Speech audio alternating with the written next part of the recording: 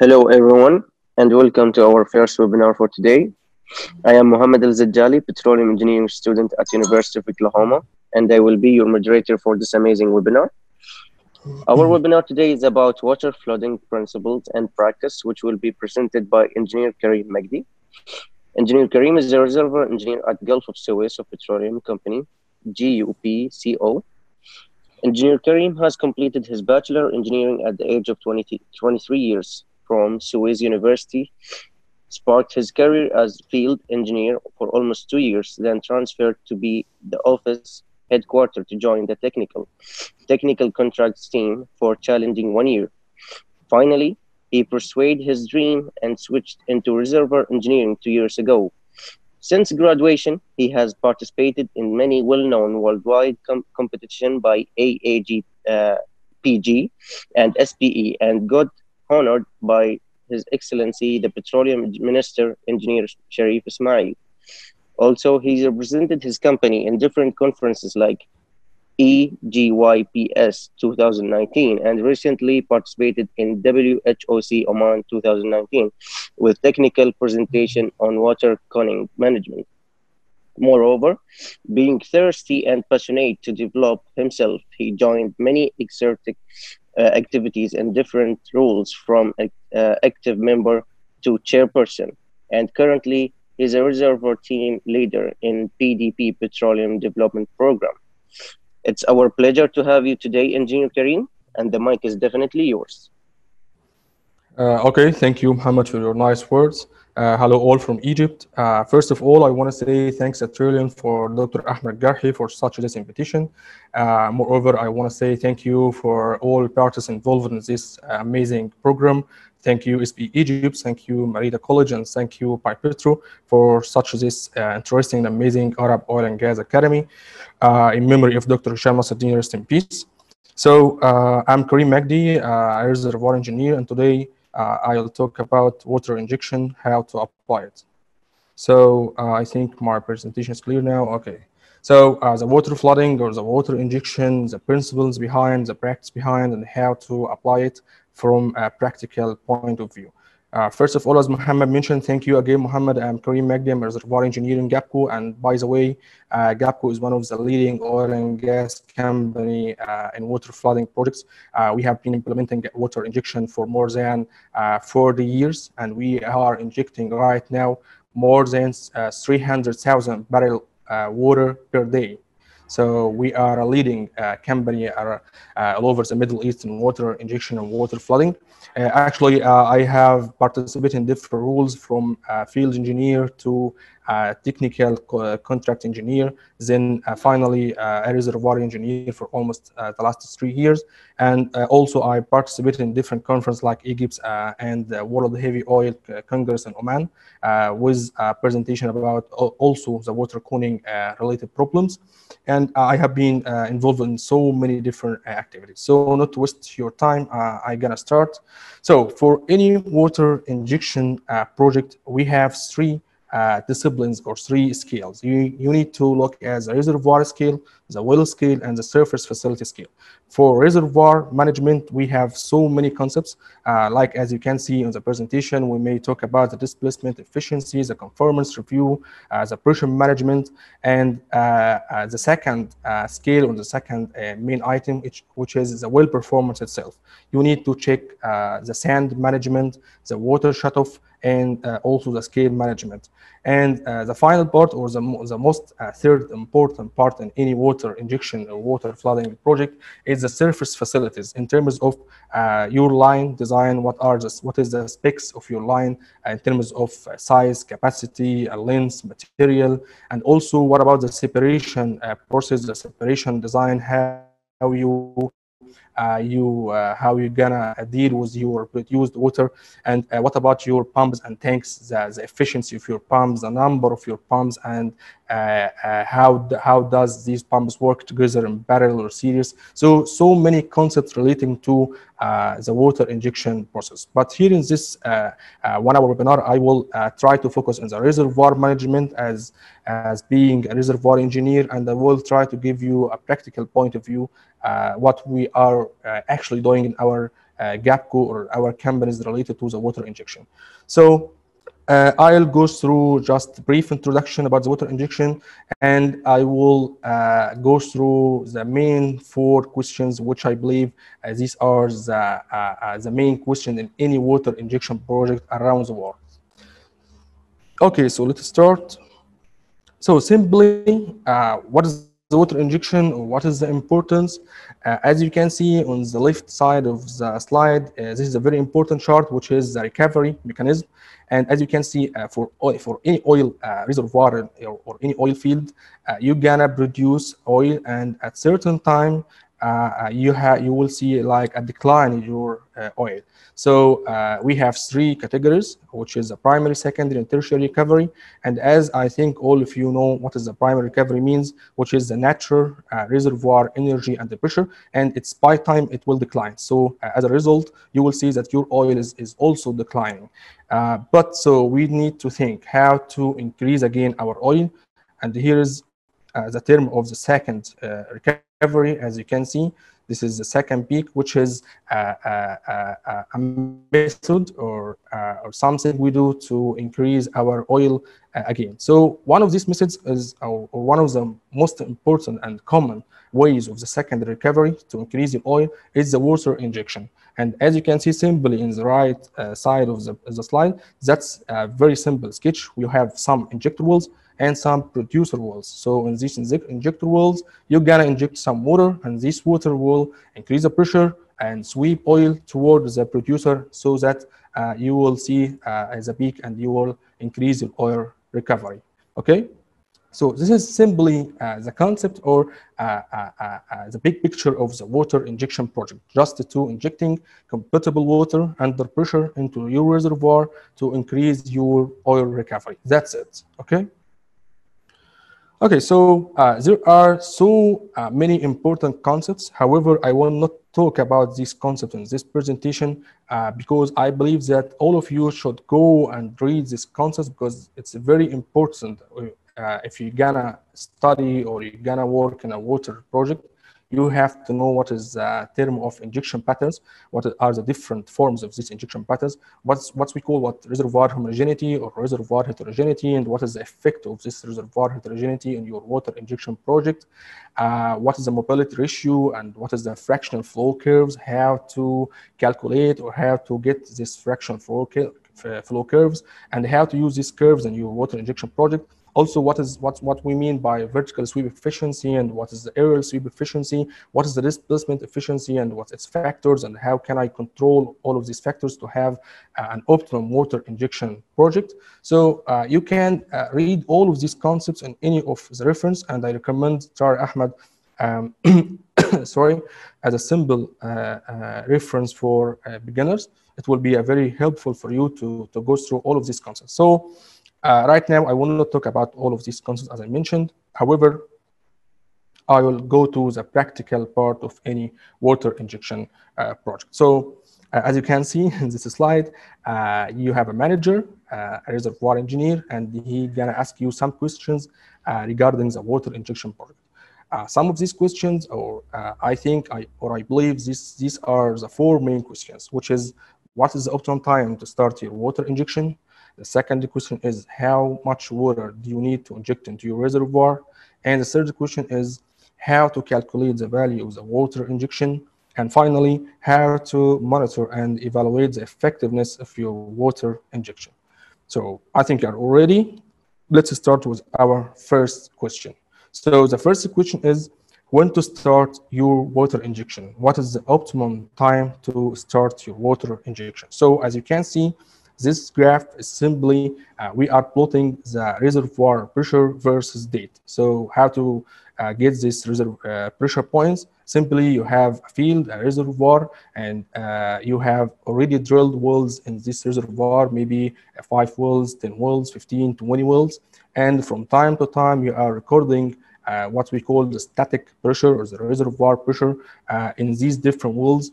Uh, as you can see along almost 30 30 years or 35 years uh, from the beginning uh, life of the reservoir till uh, till now. So at the end of the day, you will have like this chart uh, many scattered points of reservoir pressure uh, versus date. So uh, the bubble point pressure is the main factor in uh, answering the first question. And before going deep, let's uh, just refresh our mind with uh, what we mean by the bubble pressure. And to, to keep it simple, just remember this Pepsi can.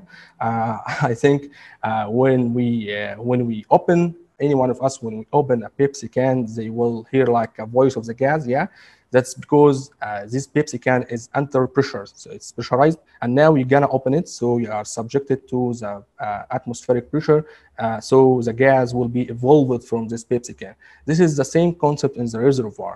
Our reservoir is initially pressurized, and uh, as we produce oil from this reservoir, we are we are dr drilling wells in the reservoir. We are subjecting this reservoir to to a, a lower pressure and producing more more oil, having more offtake from the reservoir. So its the pressure will be decreasing with time, decreasing with time until a point we call it the bubble point pressure. Like you open the Pepsi can, so the gas will be evolved from the reservoir. So as you can see in this chart, and we can see clearly uh, a declining trend in uh, the pressure. And also we can see that some of the pressure points are below the bubble point pressure. And as we mentioned before, getting below the bubble, uh, the bubble point pressure, it means that uh, the gas will be evolved from your reservoir. So uh, the important question now, so what happens? What happens when the reservoir or the gas evolved from my reservoir?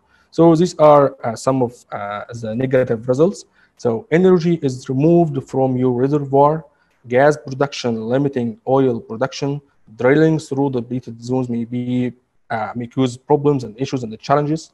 And at the end of the day, all of these uh, negative factors will uh, will, will cause low recovery factors. And as I mentioned before, we need to increase our uh, reserve and our recovery. So this is the optimum time to start our water injection project. So once your pressure is slightly declining below the bubble point pressure, gas, more gas will be evolved. So you're gonna lose your energy, you're gonna lose your reserve. So it is the optimum time to start your water injection to uh, support your reservoir, to increase its, uh, its pressure, and hence we're gonna increase our production. And as you can see, after uh, uh, starting the water injection, you can see uh, another trend, which is an, an increasing trend of uh, the reservoir pressure.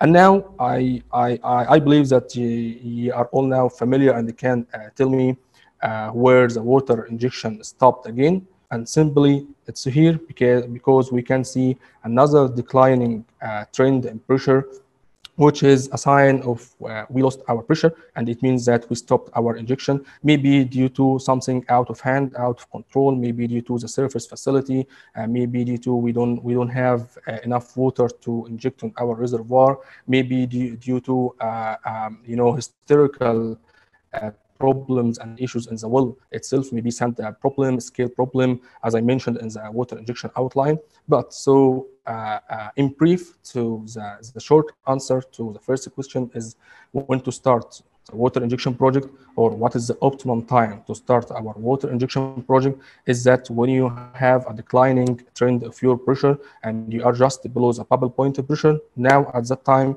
you have to uh, think about water injection and water flooding.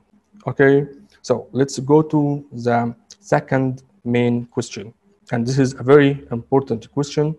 Once uh, we decided to start our water injection, your manager will come to you and ask, so uh, how much water or how many barrels of water uh, we need to inject into our reservoir.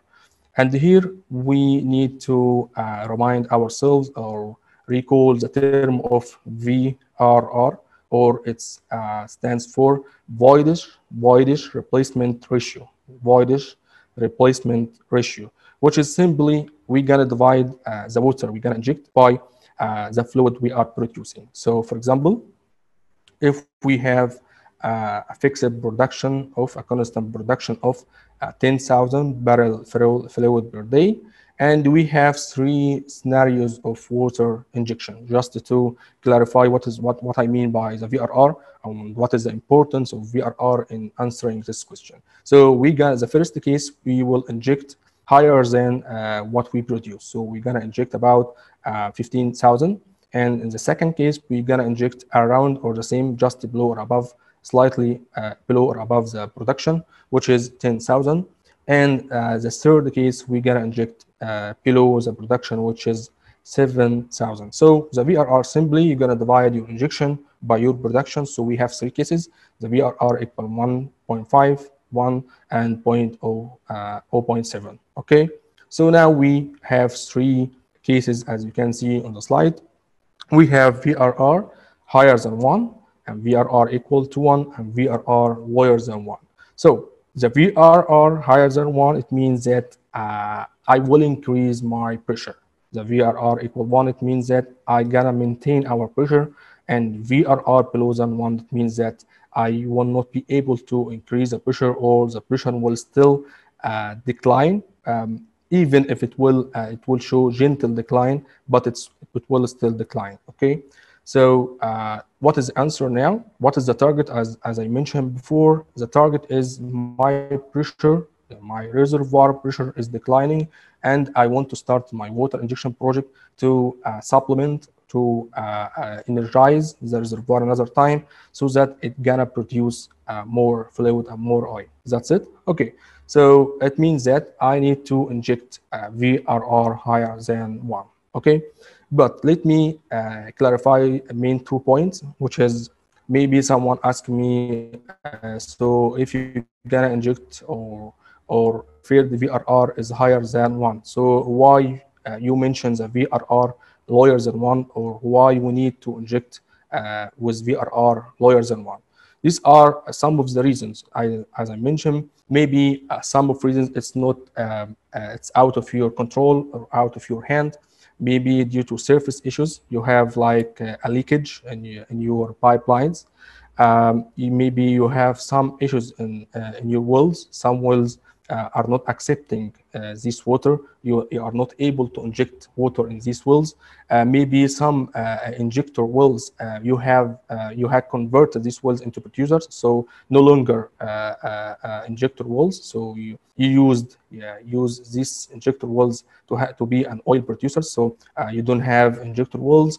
Maybe um, uh, you have you drilled more producers and and still uh, the same fixed number of injectors, so you cannot uh, increase your injection. Uh, maybe you have you don't have uh, uh, availability of your water, you cannot dispose your water. So there are so many reasons out of your hand and out of your control, and and this is daily we are trying to manage and optimize the project because of all of these reasons may obligate us to to inject below the VRR.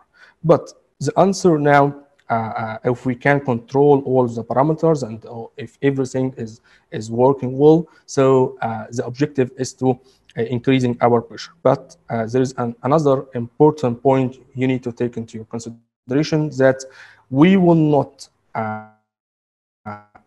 inject with VRR higher than one along all the lifetime of the reservoir at the early stages. So you suffer, are suffering from pressure decline. So you need to rapidly increase your reservoir pressure. You need to inject more water into your reservoir to, to energize your reservoir.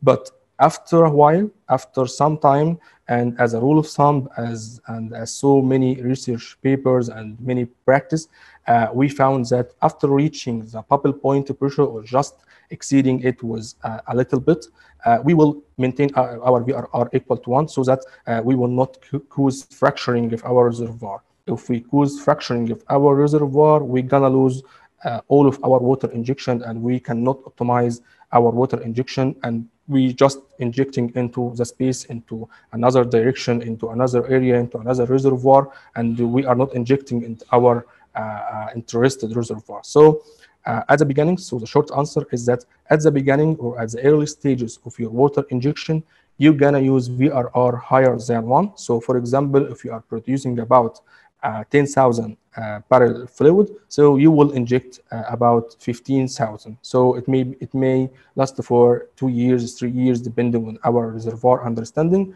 And after these two years or three years, um, you will you will uh, decrease your VRR to have a VRR around one, maybe uh, 0.9, maybe 1.1. It's it's it's roughly the same the same number. And uh, for example, if you are producing with the same 10,000 barrel fluid per day, so you're gonna inject 10,000 barrel water per day. Okay.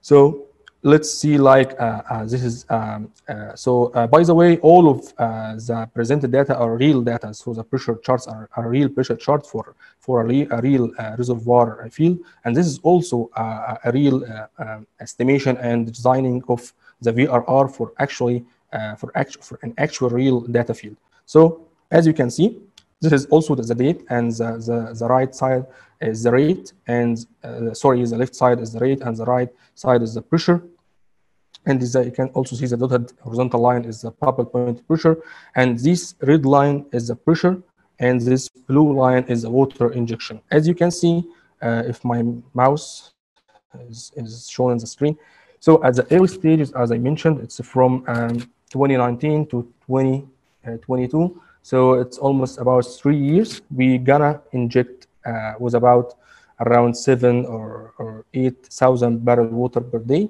which equivalent to a VRR of 1.7. As I mentioned before, it's uh, above than one. So you will show a rapid increase. And as I mentioned, this is an actual data. This is an actual data for a reservoir. So as you can see, this is a rapid increase in the pressure because the pressure was uh, below the bubble uh, point at the starting point of the injection. And after, as you can see, uh, slightly uh, having a pressure higher than the bubble point pressure, we don't need to uh, still injecting with higher VRR, so not to not to waste our water and not to uh, cause fracturing of our reservoir. So we're gonna um, decline or decrease our VRR to be around 1, uh, 1.1, uh, 0.9. And as you can see, this is uh, the, uh, the blue line, which is the water injection line, is decreased to almost only uh, 5,000 uh, barrel water per day. And as you can see, there is slightly uh, increasing a trend of the reservoir pressure because actually we use uh, a slightly higher than one VRR. And this is uh, not constant. We, we can manage it later to have like VRR 0.8 or 0.9 to have uh, a stable reservoir pressure. So I hope now uh, everything is clear. So the first question, how when to start the water injection, it's a, a short answer. When we have a pressure below the bubble point pressure, we need to start our water injection.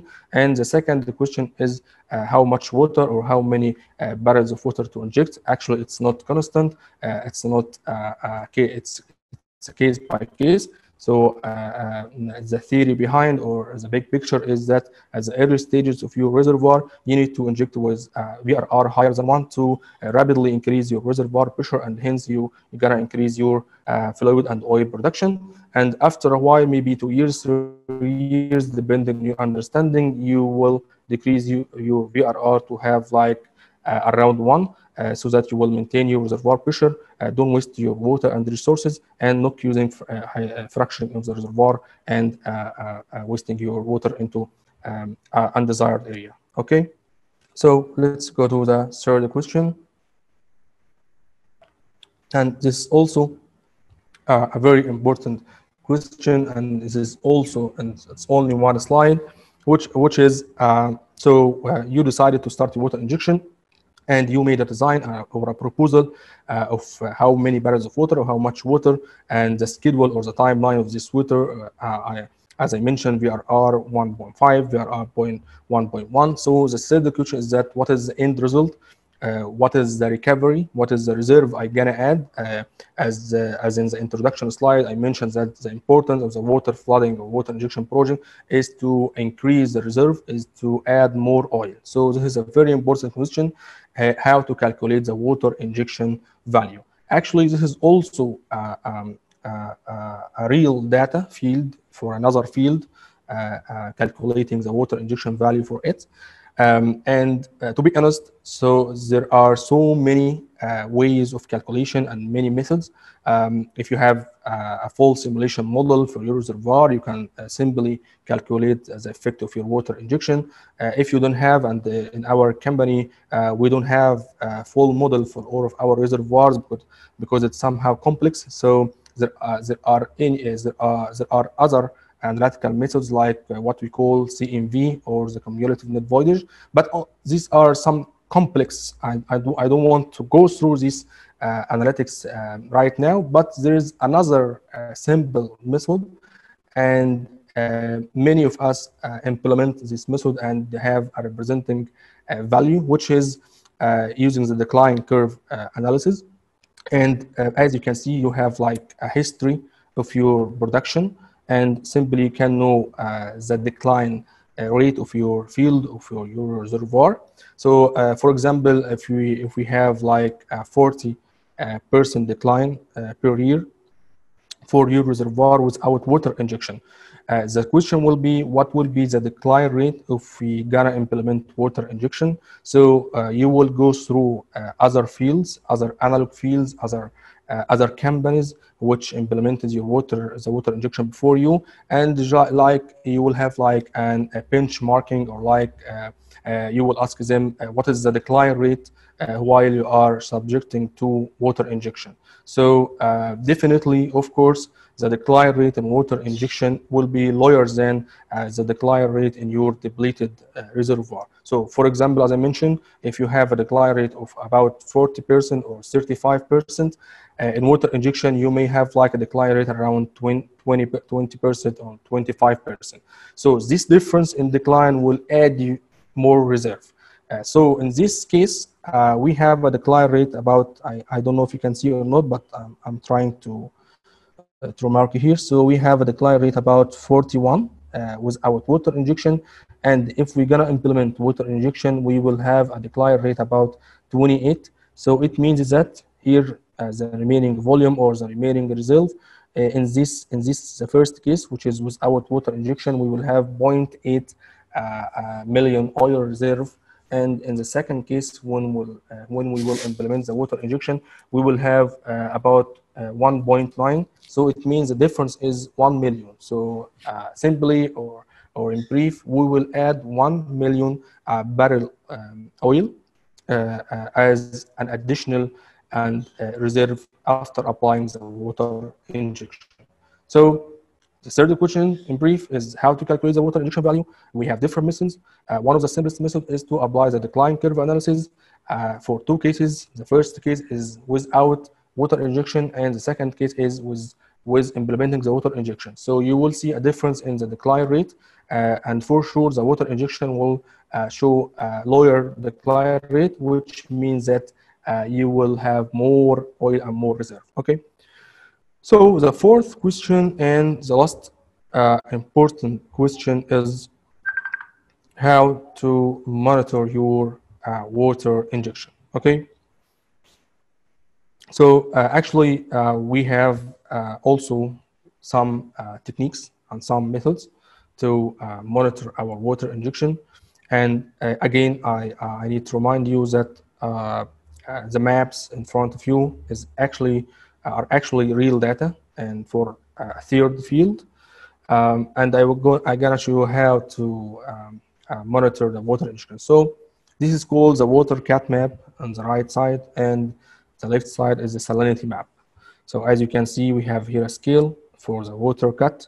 Um, uh, when you go to the blue, blue, blue color, it means that you have a higher water cut and higher water cut means that all of your stream or most of your stream is actually water okay? And uh, in the left side which is the salinity or the chlorine measurement uh, as you can see as going to the red color it means that you have higher salinity okay? So let's start with the water cut map. This is uh, simply a reservoir or a field and you have a map for it simply a structure map and uh, you're gonna control your water cut values just to give the water cut values to your uh, geologist and he will give you uh, such as this map and just you, need to uh, interpret the data so These two triangles represents two injectors. So you have in this field like this uh, injector in the south area and the other injector in the north area. And uh, around these injectors, we have, as you can see, this is um, small font uh, symbols, uh, square symbols. These represents wells, producer oil wells. So we have around uh, three or four wells in the south area, and the same maybe five or six wells in the north area. So simply you can see that all of the map uh, is, is, is, is almost uh, blue in color. So it means that your water injection or the water you are injecting in, into your wells are covering all of your reservoir. Okay, so it means that you have um, you have an effective uh, water injection. Your water can reach all of your reservoir, and you can see uh, uh, this in, into your producer wells. Uh, another uh, uh, important point, as you can see, we are injecting from south and we are injecting from north. And you can see here the central area. Uh, we are pushing oil from uh, north and south, from south and north to the central area. Uh, and you can see here the, the, the, the color is somehow uh, green, not, not totally blue as uh, south and north. So it's also another indication that we have an effective uh, water injection. we are sweeping oil from different directions, from south and from north towards the central area. And uh, the same the same here for the second map, which is a salinity map. Uh, the salinity, uh, in brief, uh, you know that we have a formation higher formation salinity, maybe around uh, uh, 100,000, and we are using injection water, most likely seawater, which has a, low salinity, about 30,000. So if you're gonna inject your seawater and with your formation water, so uh, you should see like uh, a decreasing in the salinity, which is uh, yellow color. So the same here, we have the same the same map and the same structure, the same wells and the same two injectors. One is the, one injector well in the south, and the other one is in the north. Also, we can see that around the injectors, uh, we can see uh, yellow color everywhere. It means that yellow color, it means that uh, low salinity, and the low salinity means that uh, that uh, we have a good mixing of uh, your seawater with formation water, which means that you're injecting your water is sweeping and is covering all of your reservoir. And also the same uh, uh, the same note here that the central area can you can see here like um, red red colors, which mean which means that higher salinity which means that uh, the, the, the seawater uh, is still not touching this central area. And it means that uh, we have a good sweeping from different direction to the central area. Okay. So, and to, to make it more clear, uh, this is uh, also a, timeline, water cut and the salinity for the same uh, previous field as just to see the trend of water cut and the trend of salinity. And as you can see here, we have uh, an increasing trend for the last uh, 20 years. And as you can see, this vertical line, the start of injection. So since starting water injection, we can see that the water cut is, is increasing, is increasing, which means that uh, we have an effective water injection and our water is covering our reservoir. And also the same here on the right side, uh, we started with higher salinity, as I mentioned, around uh, 100,000.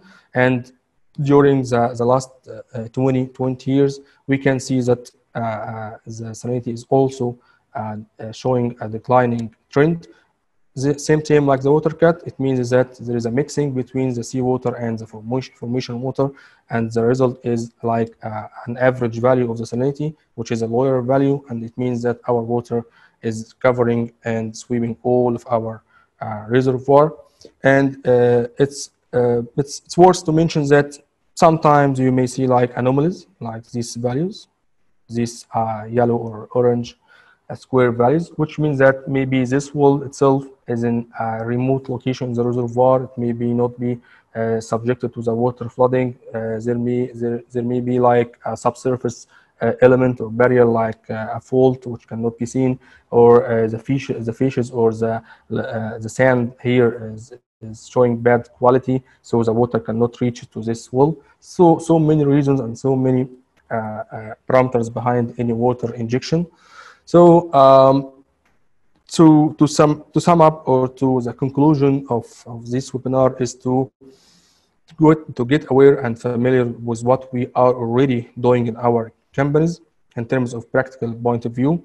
These are uh, uh, the, the main four questions uh, you have to be familiar with. The first question is uh, when to start your water injection, and what is the optimum time to start your water injection, and as I mentioned, uh, once you see your reservoir pressure declining below the bubble point pressure, you need to think about the water injection and start your uh, water injection immediately.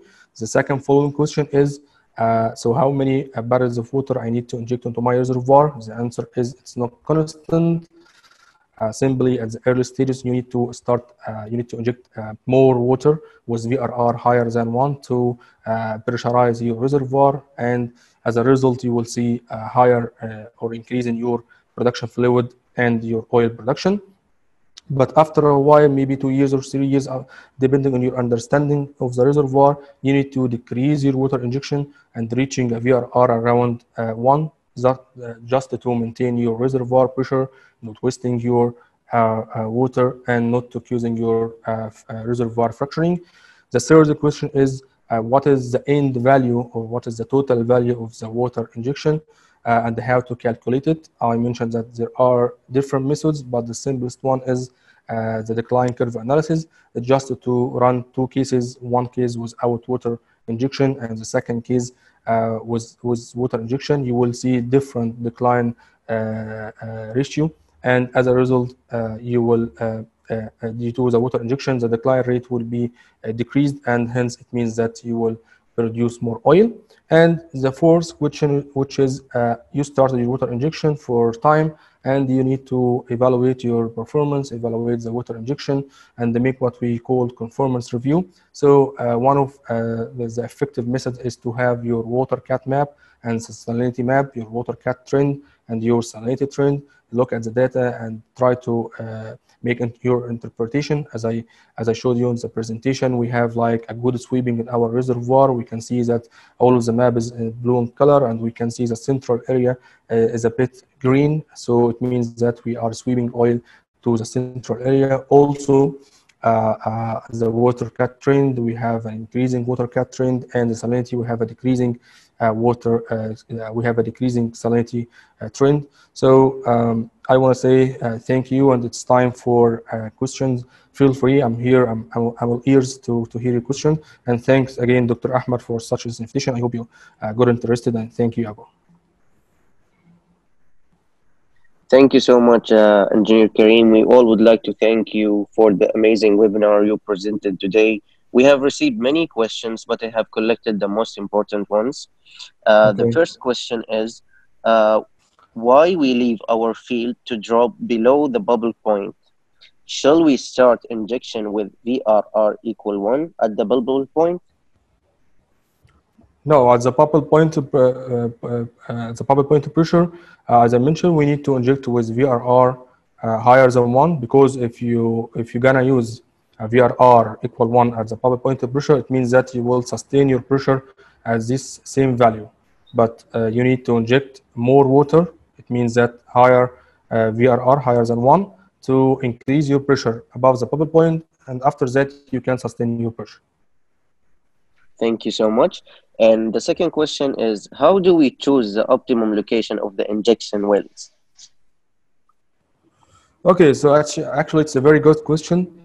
And there are many, uh, I don't want to say theoretical techniques, but uh, you know, uh, theoretically you can, we can have a simulation and we can uh, change the pattern, uh, you know, five spots, three spot, different patterns and see as the effect of uh, uh, the cumulative oil or the reserve, the total reserve at the end of the day.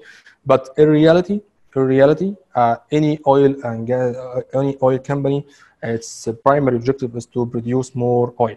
So they will not take care about the water injection wells and they prefer initially to start with peripheral water injection. So if you have uh, like, uh, I'll try to show it in the presentation. So I don't know if you can see it or not. Something like if you have this field, so all of your wells are in the central area. So you're gonna start your injection like like here. I, I may use my annotate. Uh, so it will be something like, can you see this toy, this circle? Maybe the preferred means that at the outer side of the reservoir. So they will start with peripheral wells so that these peripheral wells or these two uh, red circles will inject water to the center of the reservoir. So this is at the early stage, but after time, uh, as the, the practice we, we do in our camp is that we, we will convert some of our already producer oil wells into injectors. So it's like irreg irregular patterns of water injection. Thank you so much for the answer. And uh, someone is asking, how uh, if we have a water wet reservoir, how effective how effective is to implement water injection? If we have like an, an water wet reservoir, Reservoir. how Yes. How how effective is to implement water injection? actually we don't we don't prefer to have uh, an oil wet because if you have an oil wet uh, you know it's the oil is, is stuck to your pore throat. So uh, the effectiveness will not will not be so good. But uh, his question uh, is, is the preferred case. If we have water uh, wet it means that the oil phase is a movable is a movable phase. So it means that if we can inject water it will uh, some of this water will adhere to the pore throat and the other will sweep more oil and this is the target. We need to we, we, we inject water for two reasons. For increasing the pressure as i mentioned and as this map we're gonna sweep more oil to the producer wells. So it's the preferred case for us. Thank you so much. And the last question is, someone asking is, during the water injection, are there any chances that water gets leaked off to other zones instead of sweeping to the oil, uh, oil to the production well? Yes, yes, yes, uh, yes. This is also a very good question. Uh, the first case, if we if we cause the fracturing, and this is clear, but uh, the second case, which is not clear, uh, which uh, which if, we don't if we don't have if we don't have any fractures, but we may have uh, a permeable zone, you know, so so that we have different reservoirs or different zones in the same reservoir, but one of these uh, zones or one of these reservoirs have higher higher permeability than other zones. So uh, you're gonna inject all of your water into this zone, and uh, the other zones or the other reservoirs uh, will not get uh, the enough water injection. And actually, this is a very good question. And we, we call it like, uh, as I mentioned, the VRR, we called it the, the breakdown VRR. So this is the total VRR. What I mentioned is called the total VRR. So um, uh, in advance, advancing, we're gonna break this VRR to each zone and each reservoir to see how much water and how many barrels of water each zone is, is, is getting specifically. Thank you so much, uh, Engineer Karim. We all appreciate your uh, amazing webinar today. It was really informative. And thank you guys for watching, and we hope to see you uh, in the next uh, webinar. Thank you so much, uh, Engineer Karim.